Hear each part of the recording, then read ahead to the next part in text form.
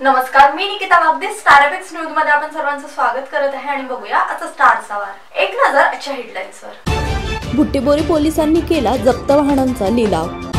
इमारत तयार असताना विद्यार्थी शिकत वर्ग खोली. आता बातम्या सविस्तररित्या. बुट्टीबोरी पोलीस ठाण्याच्या हद्दीत पडलेल्या विविध गुन्ह्यातील व अपघातातील जप्त करण्यात आलेल्या वाहनांचा दिनांक पंचवीस जूनला अखेर लिलाव करण्यात आला. बुट्टीबोरी पोलिसांनी तसेच वाहतूक पोलिसांनी विविध गुन्ह्यात अनेक वाहने जप्त केली. यात त्रेपन्न मोटरसायकलचा समावेश होता. विविध गुन्ह्याशी संबंधित असलेली ही वाहने वर्ष दोन हजार पाच ते दोन हजार सोळा पासून एकाच ठिकाणी पडून होती. ही वाहने परत मिळवण्यासाठी कुणीच पुढे येत नसल्याने एकीकडे पोलीस ठाण्याचे सौंदर्य तर विस्कळीत करीत होते शिवाय या वाहनांची सुरक्षा पोलिसांना डोकेदुखीचा विषय ठरली होती.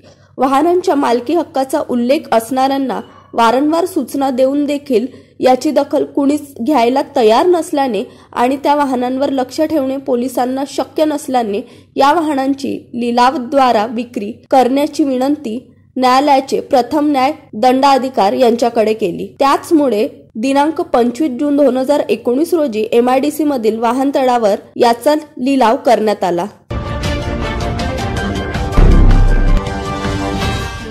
अंजनगाव सुरजी येथे नवीन सत्रात सर्व शाळांमध्ये शाळेच्या पहिल्या दिवशी नानाविधी प्रकारे विद्यार्थ्यांचे स्वागत केले जाते. मात्र येथील नगरपालिकेच्या किल्ल्याची शाळा म्हणून ऐतिहासिक ओळख असलेल्या उर्दू माध्यमिक शाळेत मात्र नवीन शाळेची इमारत तयार असताना विद्यार्थ्यांना जुना डिसिमेंटल अवस्थेत असलेल्या वर्गखोलीत बसवण्याचा प्रकार घडल्याशिवाय काही विद्यार्थ्यांना तर व्हरांड्यात बसवावे लागण्याची पाळी शिक्षकांवर आली. शिवाय आपल्याला आता नवीन वर्गात बसायला भेटेल. या विद्यार्थ्यांच्या उत्साहाचा सुद्धा हिरमोड झाल्या. शिक्षणाच्या प्रोत्साहनासाठी शासनाकडून विविध योजना आखल्या जात असताना येथील नगरपालिका मात्र याकडे डोळे झाकपणा करत असल्याचे बोलले जात आहे. अधिक बातम्यांसाठी बघत राहा स्टार न्यूज स्टारचा वार